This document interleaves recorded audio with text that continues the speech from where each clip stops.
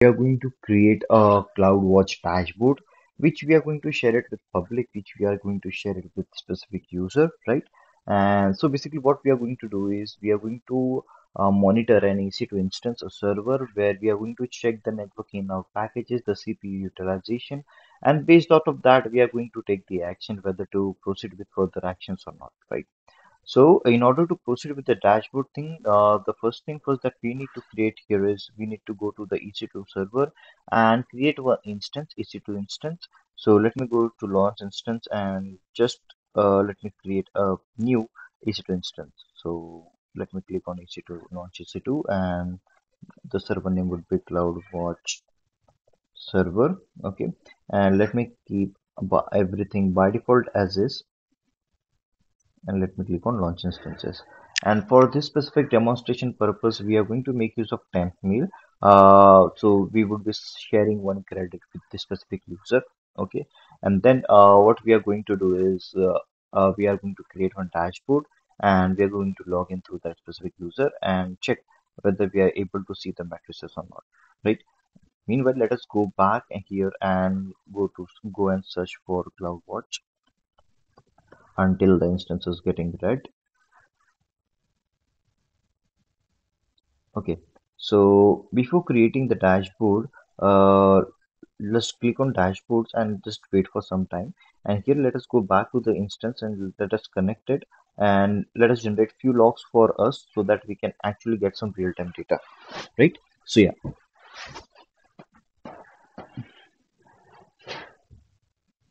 all right. So let me just uh, log in as a super user.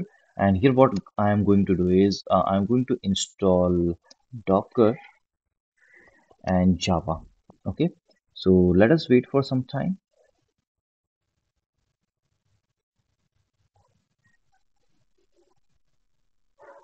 Okay. And yum install java. Happen by. And this should uh, do the work let us go back to uh, CloudWatch dashboard and click on create dashboard. Here let me write the uh, dashboard name as Cloud Server API v3. Okay, you can give any custom name whatever you want. Okay, the here uh, you can uh, see you can add some sort of widgets. That is the data type can be a matrix, can be a log, can be an alarm. Okay, so if you want to compare data, you can definitely go for uh, logs okay. And here you can also generate the matrices. So you can proceed forward with the same. We are going to make use of uh, these in this specific demonstration. Now when you go to other content type here you will get uh, widget information. So what is the basic use case of this widget type? So basically it's it is just for showing why this specific uh, dashboard is created and what is the use case. Let me just uh, delete few of the widget and uh, just rewrite this thing entirely so i'll just write cloud uh, server okay. And here you'll write uh, heading so ec2 monitoring. So basically it is just used for uh, telling what this dashboard is what is the basic purpose right? And here you can just uh, like change the link so that the user can directly hover to that specific server right so yeah if you want to uh, proceed forward with editing the same you can do the same okay? However uh, let me just skip this part okay? And I'll just remove this thing as well. Okay so let's consider that we have done the documentation part and let me click on add widget. Here what we have done is we have added one widget okay for the specific dashboard and the next thing is is the matrices that we want to enter right? Now here uh, there are different type of uh, widgets which are present okay? For now let us go to the number and click on next. And here uh, what we need to do is we need to select the namespaces. Now if you uh, wonder what namespaces is we already covered it on the previous video where I actually told you what actually namespaces are and what are the use cases. So uh, just to summarize the previous one, so basically what namespaces is, namespace is just nothing but uh, clubbing up of resources. So when I say EC2 namespace, so it is uh, just indicating an inside EC2 you will find all the necessary information whatever you need. Uh, in EC2 instances, right? So basically networking out, CPU utilization, all everything falls under EC2 namespace. When I click on create widget, it will show you the data. Okay, it will take some time and then it will show you the actual data uh, for the CPU utilization. Meanwhile, feel free to explore this thing uh, in your own. So let me just create and add more data over here. Okay, you can even show the data with the uh, in terms of logs. Okay, but now let let us go forward with the flow. So let me go and create a line, or you can even create a bar so click on next and here this time what we are going to do is we are going to go on EC2 instance, per-instance metrics and then uh, we are going to select network in and out traffic and then click on create widget. This thing is also done. Now again uh, we are going to create a final one. Uh, let us take stacked area for this time and namespace again EC2 per-instance metrics okay and let's say you want to check the CPU usage credit and credit balance surplus balance okay? And like you can even add more matrices if you want to see okay? So yeah. That is how you will able to add more matrices and then click on widget. And this is how you can just drag and drop and uh, readjust the window as per your use okay? Let me just save the widget the dashboard okay uh, one more thing the dashboard in ec2 the dashboard in aws is not on auto save you need to save it manually. Then and then only it will be showing you the data. Okay uh, now there is one more thing i need to highlight is let me just go and edit this thing. Uh, edit. So here what we did is uh, we created generic one. Okay but what if you want to select a specific instance and check uh, whether the data is for that specific one or not.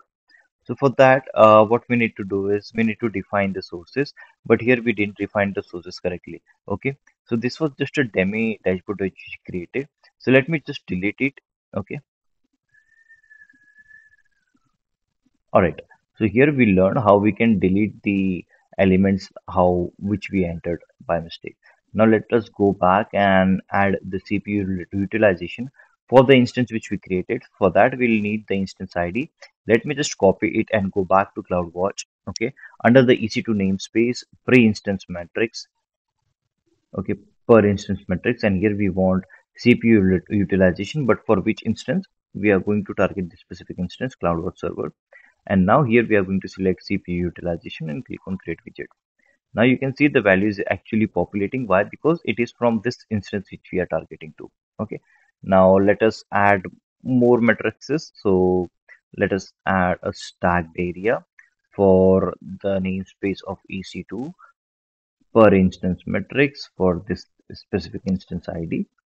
And what we need to check is credit balance, credit usage balance, surplus charge, and CPU surplus credit balance. These are the four instance uh, metrics that we want to see. Okay, and then uh, click on create widget. So yeah, and then uh, let us click on plus and let us add more widget to it. This time we are going to make use of line. And again ec2 namespace per instance matrix for this specific instance id now let us see the network in network out packets out and packets in. Okay so these are the uh, you know matrices that we want to see and click on create widget. Okay so whatever activities you will be doing here is uh, will be reflected over there. So let us uh, just pull one of the images docker pull mysql. Okay is docker daemon running? So system ctl enable service.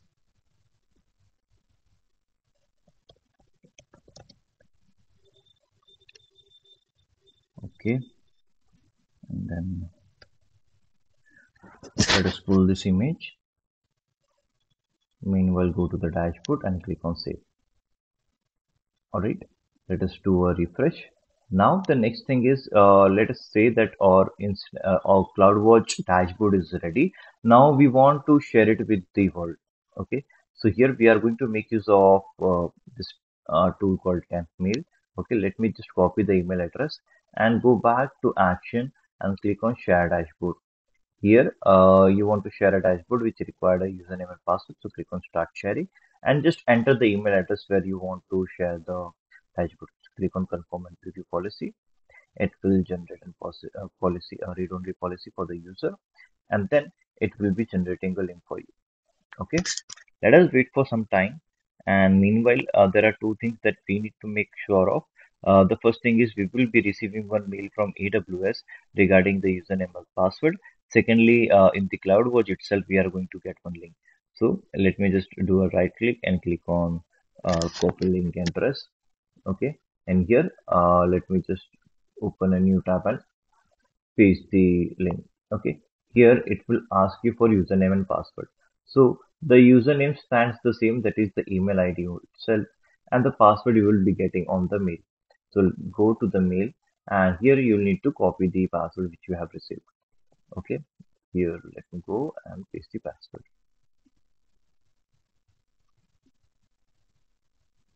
Here it is asking you to set a new password. So yeah let me just add a new password for now.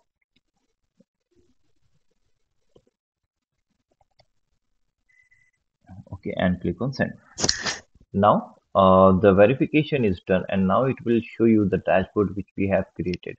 So only with the specific user. However if you share it with uh, other people the link uh, they will be prompted for username and password and eventually they won't be able to see the dashboard. Okay? So it will uh, it is loading the dashboard and then this user also will be able to see the dashboard. Click on light. Okay? So here whatever uh, activity has been performed there he or she will be able to access the dashboard see you can see the cpu utilization count matrix has been shown over here. And here in the networking out also you will be able to see the graph generated. And this is for the networking. See the uh, docker image pull which we perform is showing you the matrices. All right? So yeah. Uh, now the next thing is how do you, now let us consider that you shared that specific dashboard by mistakenly with that user and you want to stop sharing. So go to action share dashboard okay? And here in the same place share your dashboard uh, which require username and password. Click on stop sharing. And then now uh, let us wait for some time. And now when you go back over here and you do a refresh uh, in order to check the data it will again ask you for uh, credentials. Why? Because we have stopped uh, sharing this dashboard okay now the next thing is we want to share uh, this dashboard publicly without uh, even uh, asking the user for entering the username and password. So click on share your dashboard publicly start sharing and then click on share. Confirm and preview policy. Okay. And let us wait for some time for uh, the link to be generated copy the link. You can even open it on incognito tab or on a uh, new window. So let me just enter it. It is generating credential for you. It is logging you in and then it will show you uh, the cpu utilization. Okay. So yeah here again you can go and check the matrices. Okay. Whatever is there. So this is for cpu utilization. And again this uh, chart indicates the network in and out traffic. Okay if you want to go in depth just uh, select it and that is how you will be able to see the graphs. Okay? Based out of the time. So yeah that was all how you can create a custom dashboard share it with the user. Okay?